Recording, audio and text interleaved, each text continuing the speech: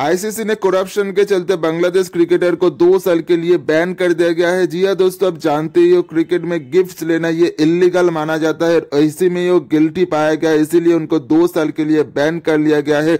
Pune devils के लिए Abu Dhabi 2020-21 season में उन्होंने खेला था टी टेन लीग और उसी में उन्होंने एक गिल्टी पाया गया। उन्होंने ब्रीचेस किया है। उन्होंने 2.4.3 जो कॉन्टैक्ट है, वो ब्रीचेस किया है।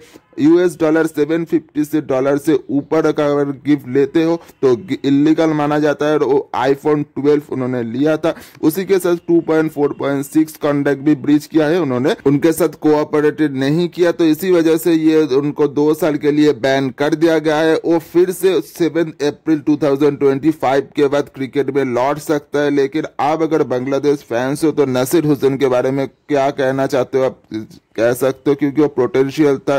किस किस वजह से उनको ये करियर डाउनफॉल या आप जानते हो? कमेंट में ज़रूर बताना।